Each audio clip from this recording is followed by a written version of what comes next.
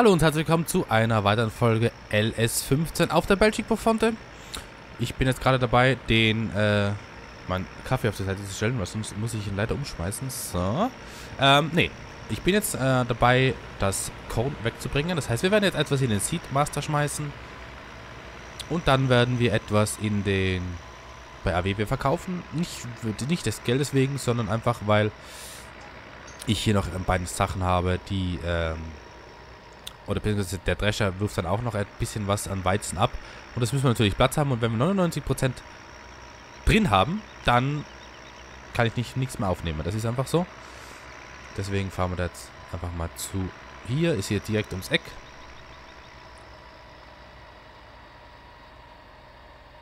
So, was wir hier... Ah, ich muss hier rückwärts ranfahren, genau. Ich hoffe, dass wir das mit dem Hänger hier schaffen, machen. Gucken wir einfach mal. So. Ich sehe leider gar nichts so. Aber jetzt. So. So. Ich hoffe, das funktioniert. So, sollte... Okay, ich habe ein Abladesymbol. Ja, es funktioniert sehr gut. Man sieht, wie der Seedmaster sich befüllt. Ich musste... Oh, nee. Moment. Ich möchte das ein bisschen, ne? Ich habe ja gesagt, ich möchte das... Ich vergesse es natürlich ab und zu noch, aber... Ich arbeite daran. Ähm... Ich möchte hier mal gucken, wie viel da jetzt wirklich drin ist. Es sind, ja, 8000 drin. Das heißt, wir müssen jetzt einfach mal die Zeit ein bisschen arbeiten lassen. Ähm, dann passt das auch. Zack, zack, zack. So, dann können wir den Rest hier vorne verkaufen. Gibt auch ein bisschen was. Ein paar Cent vielleicht. Eigentlich schon schlimm, ne? Für so eine harte Arbeit, ne? Für solche Großmaschinen. Die Maschinen sind ja sündhaft teuer gibt es dann so einen kleinen Ertrag. Das ist schon bitter eigentlich. Aber das ist nun mal so. Gut, dann haben wir das jetzt hier ab. Seht jetzt hier, Kontostand steigt ein bisschen. Wir, sehen, wir, hoffen dann, wir haben dann hoffentlich eine Anzeige, wie viel das denn dann war. So. 7600. Das ist doch, das ist doch ein Witz eigentlich, ne? So ein, äh, so ein äh, Drescher, wie wir ihn fahren zum Beispiel. Der kostet 200.000. Ja, kostet bestimmt 200.000 kostet Und dann bekommt man für so einen vollen Hänger 7.000. Gut, der war nicht mehr ganz voll, muss man auch ehrlich sein. Aber 7.000 ist schon mickrig, wie ich finde. Also da, auch wenn es 10.000 jetzt wären zum Beispiel, das ist nicht so viel. So, ich muss man den Auto... Ah, okay, der Helfer fährt nicht mehr. Ist er fertig vielleicht? Das kann natürlich jetzt sein. Wollen wir gleich mal gucken gehen. Es scheint mir fast so, als wie er fertig sein würde. Jo, er ist fertig. Gut, dann schauen wir uns ganz kurz die Felder an. Als nächstes kommt Feld 21 oder 21 oder 22 dran. 21 ist es. Ich müsste nur gucken, was da drauf ist. Weizen. Das heißt, wir können den Weizen drin lassen. Äh, Feld 31 ist auch noch Weizen. Oh, das heißt, wir müssten mal ein bisschen vorspulen. Da müssen wir nicht so weit fahren. Das wäre vielleicht nicht das Schlechteste. Gut, dann lassen wir jetzt hier mal, ich würde sagen, die Zeit ein bisschen laufen. Äh, auf 30. Lassen wir die Zeit einfach mal auf 30 laufen. Den, äh, den Trecker mit dem Abfahrer stellen wir derweil an die Seite. So. Passt. Dann müssen wir hier wieder aussteigen. Perfekt. Türe natürlich wieder zumachen, wenn wir draußen sind. Und dann können wir weitermachen mit äh, Stroh einsammeln. Und ja. Ich glaube, bei den Masttieren fehlt noch ein bisschen was an Stroh. Und also bei den Kühen, speziell bei den Schweinen, glaube ich, haben wir alles äh, ganz gut versorgt. Äh, Schafe natürlich. Und bei den Gänsen müssen wir noch, auch noch danach füllen, nachgucken. Äh, mir ist das relativ wenig vorgekommen bei den Kühen, muss ich ganz ehrlich sagen. Wobei Stroh, ja, da ist wirklich wenig Stroh drin. Für meinen Geschmack jetzt. Es kann auch sein, dass ich mich da irre oder täusche, aber es sieht mir relativ wenig aus. So, wir werden jetzt gleich hier auf der linken Seite die drei Bahnen mitnehmen, weil dann haben wir den linken Teil des Feldes schon mal komplett erledigt. Wenn man jetzt von der Straßenseite unten hochguckt. Und dann werden wir den äh, Rest angehen. Äh, Stroh ist etwas, was ich jetzt eher nicht verkaufen werde, weil es einfach gar nichts bringt. Und Stroh eigentlich immer, egal ob in loser Form oder in Ballenform, Rundballenform, kann man eigentlich immer einlagern. Weil, ne? Wird ja nicht schlecht. Und Stroh kann man immer gebrauchen. Das ist egal für was. Du brauchst es, um ähm, Futter zu mischen. Du brauchst es, um bei den Tieren einzustreuen. Das ist eigentlich so vielseitig einsetzbar. Das ist schon sehr, sehr gut eigentlich. So, wir haben jetzt hier unten ein kleines Ding stehen gelassen, weil irgendwie über die Achse hat er mir das nicht zugelassen. Aber wir werden es verkraften, glaube ich. Ja, ich glaube schon. Ich habe ein gutes Gefühl. So, was wir natürlich dann jetzt als nächstes machen müssen, ähm, ist Häckseln. Häckseln, da kommen wir nicht drum rum, da müssen wir leider machen. Ähm, ich überlege jetzt gerade, es wird, glaube ich, besser sein, wenn ich das am Hof lagere. Es ist nicht so viel. Es ist nur ein Feld, es ist nur Feld, schlag mich doch, 22. Da werden wir, glaube ich, das, da sind wir besser dran, wenn ich das am Hof lagere. Da muss ich nur einen schönen, wirklich einen schönen Curseblick-Kurs. Nee, das mache ich ja nicht selber, oder? Lass mich überlegen. Ich finde es, würde schon geil finden, wenn wir das mit dem Curseblick-Kurs machen. Würde ich schon, würde ich schon feiern, glaube ich. Äh, wir können das ja mal testen. Ich habe zwar mehrere Tutorials gesehen, wo das 1 erklärt wurde. Aber ob das dann wirklich so funktioniert bei mir, das ist immer so die andere Sache. Natürlich, ich weiß, dass es nachher dann an mir liegt, aber äh, wir müssen einfach mal gucken. Weil es ist natürlich nicht so einfach mit den Keilsilos.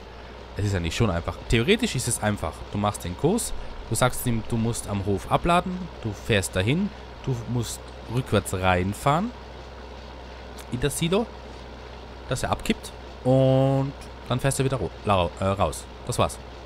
Äh, prinzipiell klingt das sehr, sehr einfach, aber die Ausführung ist meistens schwieriger als gedacht. Ja, müssen wir mal gucken. Ich glaube, wir schaffen das schon. Wir haben das bis jetzt immer gut, ganz gut hingebracht und das wird auch wieder so sein, da bin ich mir ganz, ganz sicher. Ähm, was man sich überlegen könnte, dann in späterer Folge vielleicht, dass man das Stroh von Feld 31 vielleicht in den Komposter wirft, damit man ein bisschen Kompost hat. Ähm, ja, da bin ich noch, bin noch sehr, sehr unsicher, Kompost. Aber ich glaube, ich vertraue da einfach mal dem ähm, René, der, der, der, der diese Map umgebaut hat. Er hat gesagt, er hat da keine Probleme und es, es hat einfach, es passt einfach alles. Bis jetzt, was er zu mir gesagt hat, passt eigentlich alles. Also die Map läuft stabil, sie läuft super, es gibt gar keine Probleme. Äh, er hat das alles wirklich super hingebracht. Hat so kleinere Fehler, die Frabell vermasselt hat oder, weiß ich nicht, da reingebaut hat. Ab, unabsichtlich natürlich. Hat er wieder korrigiert und das, ja, das rechne ich ihm schon ganz, ganz hoch an. Aber jetzt fahren wir erstmal nach Hause und bringen das Stroh nach Hause zu unseren äh, Kühen, Schafen, alles mögliche. Ich glaube bei den Schafen, nee, bei den Schafen brauchen wir kein Stroh was ich so gelesen habe, oder? Ich vergesse das. Jedes Mal muss ich danach gucken, weil ich es einfach nicht mehr weiß. Ähm, nee, das war weiter hinten, glaube ich. Glaube ich. So, hier, Schafe. Nee, Schafe brauchen kein, äh, kein Stroh. Nö, nö, nö, nö, nö. Weil die haben ja eigentlich, die können ja überall, äh, an der Wiese, überall, nee, also die brauchen kein Stroh. Ich finde immer interessanter dieses Feld hier links. Was ist denn das für ein Feld? Feld 11. Das sieht für mich auch relativ cool aus. Also müssen wir mal gucken, was das denn kostet. Wow. Aber als erstes müssen eben die Tiere versorgt werden. Da gibt es keinen, führt keinen Weg dran vorbei. Das muss einfach sein. So, hier hochstechen. Und dann läuft das auch wieder. Wir müssen dann mal gucken, wann wir dann mit der Haarmilchproduktion anfangen. Äh, es fällt mir jetzt gerade was ein, was ich eigentlich Warum ich das jetzt vergessen habe, das weiß ich jetzt wirklich nicht. Ich bin eigentlich doof. Ohne Witz, kann es wirklich nicht anders beschreiben. Ich könnte doch schon mal anfangen, den Mix wieder zu befüllen. Oder? Warum ich das nicht gleich gemacht habe? Hä? Stehe ich jetzt gerade nicht. Aber ist egal. Wir füllen, äh, wir füllen jetzt hier noch was ein. Zu, bei den Mastrindern. Warte, muss ich dann noch zurückfahren? Die Schweine höre ich schon mal. Jetzt habe ich einen Abladepunkt. Da lassen wir jetzt ein bisschen was da. Und den Rest, genau. So, die Gänse, die können wir dann später machen. Wir haben ja schönes Wetter, die sind sowieso den ganzen Tag draußen. So, was ich jetzt nur machen muss, ist den Stall schließen. Ihr kennt das ja von mir, Stall muss immer geschlossen sein. Sonst laufen unsere schönen Masttiere weg. Das geht natürlich gar nicht. So. Und dann werden wir jetzt heute zum ersten Mal unseren Mixfeeder befüllen. Zumindest mal anfangen zu befüllen. Verzeihung. Ich weiß natürlich, dass das äh, jetzt nicht alles voll sein wird mit einem Ladewagen mit 38% Füllmenge. Aber es ist ein Anfang. Es ist ein Anfang. Ich muss mal gucken, wo das überhaupt reingehört. Das habe ich auch noch nicht nachgeschaut, ne? So, ich habe ein Abladesymbol. Strom wird hier nicht angenommen. Ich glaube, das ist das Falsche. Jetzt aber. Schnell aussteigen. Ich weiß die Türe habe ich vergessen. Tut mir leid. Muss aber nachgucken. Ah, das mittlere ist schon mal für Stroh. Okay. Geht alles rein? Wir gucken uns das Steuerung MF. So. Niedriger Füllstand. Okay. Äh, das passt soweit. Gras weiß ich, dass wir keins da haben. Silage haben wir kein... Oh, Stroh ist jetzt angezeigt worden. Sehr, sehr gut. Kann ich das jetzt Bunker füllen mit Stroh? Bringt uns eigentlich jetzt gar nichts. Bringt uns eigentlich gar nichts. Müssen wir jetzt einfach warten, bis wir Gras und Silage haben. Und dann kann das verfüttert werden. So, jetzt fahren wir wieder los an unser, unser Feld. Äh, ich glaube, ich weiß, ich kenne die Kapazitäten des Mix-Feeders gar nicht. Weiß nicht, wie viel da jetzt reingeht. Ich glaube, ich glaube, habe ich nur gehört, 50.000, glaube ich, pro äh, Bunker. Das heißt 50.000 Gras, 50.000 dies und das und da. Und wir haben jetzt 35.000 drin. Das heißt, wir müssen den, den Ladewagen müssen wir sowieso nach Hause bringen, abgesehen davon. So, es wird langsam Nacht hier. Äh, wir gucken mal auf die Map, wie es aussieht mit dem Wachstum. Gut, es ist dabei. Wir gucken dann ins andere Menü. Pflanzensterben machen wir jetzt nochmal aus. Ich weiß gar nicht, warum das eigentlich nicht gespeichert wird. Ui, da ist ein Baum. Ähm, gut, dann fahren wir halt hier mit Rot umleuchten. Kann man mal machen. Fahren wir hier schön das restliche äh, Stroh einholen, nach Hause bringen. Und dann können wir eigentlich nach... Oh mein Gott. Stopp! So, und dann können wir eigentlich dann bald äh, jo, das Feld imaginär abhaken, bevor wir es dann bald wieder mit äh, Mist bestücken, äh, umgrubbern und was Neues ansehen. Ich bin geneigt, ich weiß es noch nicht, ich möchte nicht so viel verraten, es könnte sein, dass, wir, dass das das nächste Kartoffelfeld wird. Es könnte sein. Wow. Äh, ich weiß aber nicht, es könnte auch sein, dass es Feld 22 wird. Ich muss mal nachgucken. Wäre schon nice, ne? So ein Kartoffelfeld, also, wow. Vor allem jetzt mit den Kartoffeln, wo die Kartoffeln richtig Sinn machen in meinen Augen. Weil früher war das einfach nur, sage ich, eine Frucht, was du geerntet hast und was du verkauft hast, das war's. Ne? Und jetzt mit diesen ganzen Waschproduktionen macht es schon mehr, mehr Sinn. Und ja, schauen wir mal, ne? Ich weiß es noch nicht. Kann noch, ja, wir gucken einfach mal. Möchte nicht zu viel äh, verlautbaren und dann ist es nicht so, wie es geplant war. Das ist ja auch kacke. So, fahren wir hier rum. Bisschen größeren Bogen fahren, dann habt ihr nicht so das Problem, dass die Schwade nur so, so halb aufgenommen wird. So. Das sollte perfekt gepasst haben. Dann haben wir noch 1, 2, 3, 4, 5 Schwaden, die hier liegen. Das wird nicht alles in den Ladewagen gehen, ist aber auch egal, weil dann fahren wir halt nochmal. Mir ist noch wichtig, dass einiges jetzt im Lager ist, dass einiges da ist. Und ich muss dann noch gucken, genau, das habe ich jetzt nicht bedacht. Ich muss dann noch gucken, ob vielleicht, ähm, was meinst du, diese Gülle? Okay, äh, ob wir vielleicht eine Gabel oder eine, Sch ich glaube, es braucht eine Gabel dafür. Wenn ich lose Stroh einlagere, damit ich das auch wieder rausbekomme, ich glaube, da brauche ich eine Gabel für. Muss ich gucken, ob ich die habe, sonst muss ich mir die runterladen. Ist aber kein Problem. So, da haben wir nicht sauber gearbeitet hier links. Aber ja, wir werden es verkraften. Gut, wenn die Zeit natürlich auf 30 läuft, dann wird es natürlich relativ schnell dunkel. Ist aber auch nicht so tragisch. So, was haben wir hier noch? Alles läuft alles. Hier läuft auch alles. Hier hinten passt. Uah, passt auch alles. Ja, es könnte eigentlich nicht besser laufen. Möchte ich wirklich so sagen. Es könnte nicht besser laufen. Und Gut, die kommenden Folgen werden natürlich wieder prall gef gefüllt sein, weil wir müssen... Ich weiß nicht, ob wir jetzt zuerst... Ähm, ja, zuerst steht natürlich, oder muss anstehen, dass äh, den Mais runterzubringen. Den Mais runterzubeißen, sonst kommen wir nicht dran vorbei. Äh, das werden wir aber so gut wie es geht automatisieren. Da muss ich nochmal gucken, was besser geht. Entweder ich mache den Häckslerfahrer oder ich mache den Curseplay-Fahrer. Oder den Abfahrer, besser gesagt. Weil wenn es Curseplay ist, dann macht es ja der Computer und nicht ich. Bin aber fast dazu geneigt, den, Häcksler, äh, den Häckslerfahrer zu machen, ja. Denn, damit ich euch zeigen kann, wie das mit dem Cosplay Einfahrkurs funktioniert.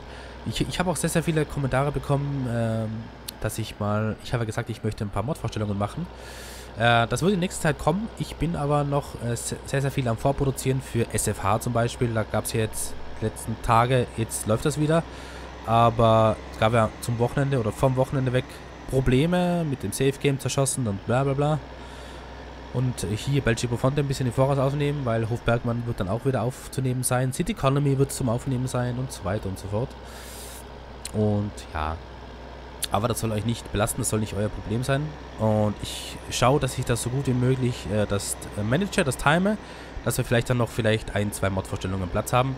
Nicht täglich, aber immer wieder mal möchte ich das schon machen. Muss ja nicht sehr, sehr ausführlich sein. Ich bin sowieso ein Gegner von sehr, sehr ausführlichen Mod-Vorstellungen, weil dann, wenn ich das jetzt komplett alles von A bis Z erkläre, ne, und da nur irgendein Punkt dabei ist, der dem Zuseher nicht zustimmt, dann ladet er sich den Mod nicht runter.